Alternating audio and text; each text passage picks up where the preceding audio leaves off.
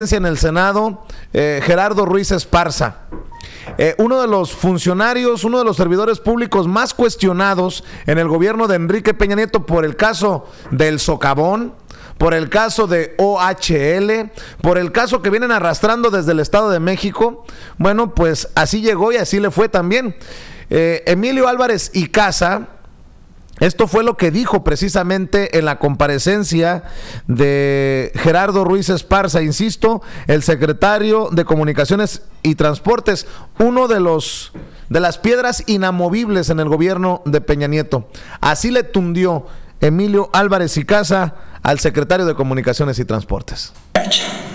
Ahora, déjeme en obvio el tiempo formular algunas preguntas que en su caso por conducto del senador presidente de la comisión hago llegar por si no hubiera tiempo para la respuesta. En septiembre de 2016, la Secretaría a su cargo transfirió un subsidio de 1.600 millones de pesos a la SASCAEM del Estado de México. Son cinco veces el presupuesto de esa entidad que hace, es como el Camino y Federal del Estado de México, justo antes de año electoral, justo. La iniciativa ahora ha documentado de manera sistemática cómo se han utilizado los cuerpos carreteros en el Estado de México como un fondo sin fin de corrupción para financiar elecciones. Ese dinero apareció y con notario público se ha testificado que luego desapareció.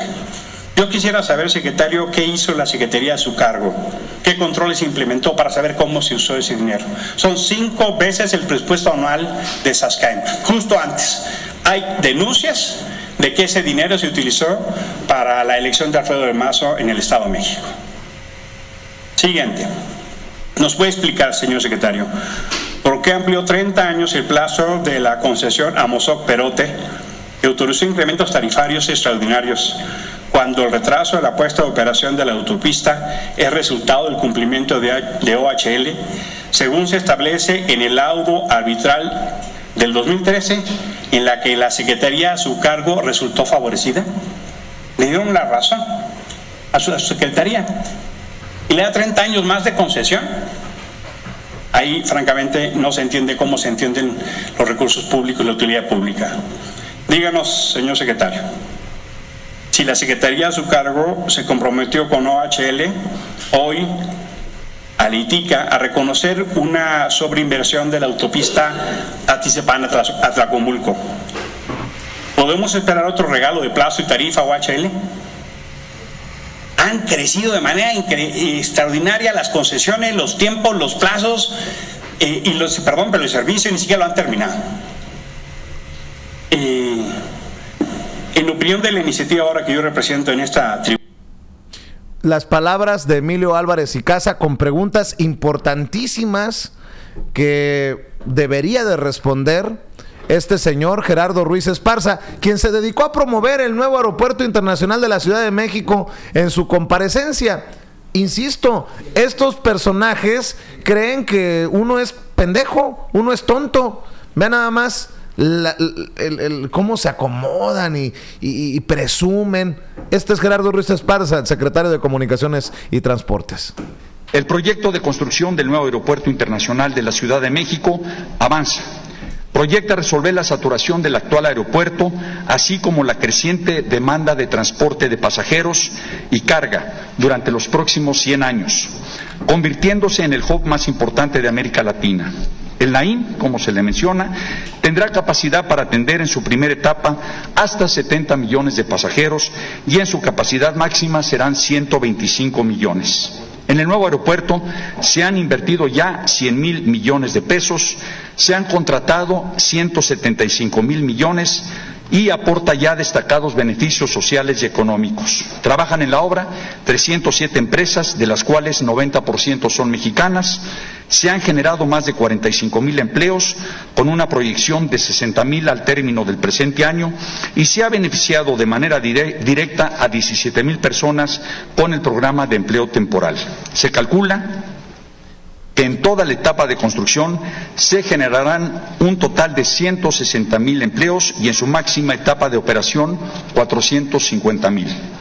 El NAIM se realiza bajo el esquema de contrataciones abiertas, modelo promovida por el Banco Mundial para transparentar la información en todas las etapas del proyecto y con observadores permanentes de la OCDE y la Secretaría de la Función Pública.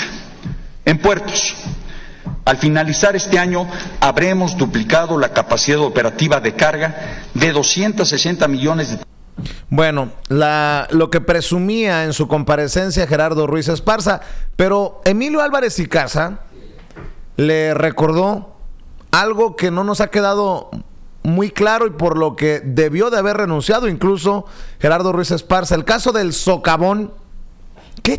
¿Qué hace Gerardo Ruiz Esparza todavía como secretario de Comunicaciones y Transportes a pesar de este caso lamentable en el socavón en el Paso Express de Cuernavaca? Así se lo planteo. un arma en el coche del abogado Díaz Gargari. Dígame, por favor, ¿qué papel jugó usted o su hijo en ese momento trabajaba en la PGR en este turbio escándalo que, por cierto, no ha sido sancionado? Termino. ¿Qué ha hecho la Secretaría de su cargo para evitar que la constructora de proyectos viales de México, la subsidiaria de OHL México, que pagó el soborno en Suiza de 1.4 millones de euros con cargo al circuito exterior mexicanse, se sigue beneficiando en la construcción de México-Toluca o de la autopista Atizapán-Atlacomulco. Nos enteramos por la justicia suiza que recursos de aquí van a procesos electorales en España. Hace un año no tenemos titular de la PGR y usted ha sido uno de los beneficiados de eso. Sabemos por la justicia de otros países cómo se lava el dinero, cómo se utiliza en procesos electorales. Usted sin competencia, sin atribuciones, emitió un comunicado diciendo que OHL no había utilizado los recursos en proceso electoral alguno. Mejor la justicia suiza nos respondió. Por su atención, muchísimas gracias. Muchas gracias, senador pues vaya socavón en el que está metido Gerardo Ruiz Esparza y a pesar de todo lo rescata una y otra vez Enrique Peña Nieto. Ya llegó a nuestros estudios la abogada Lourdes Monteagudo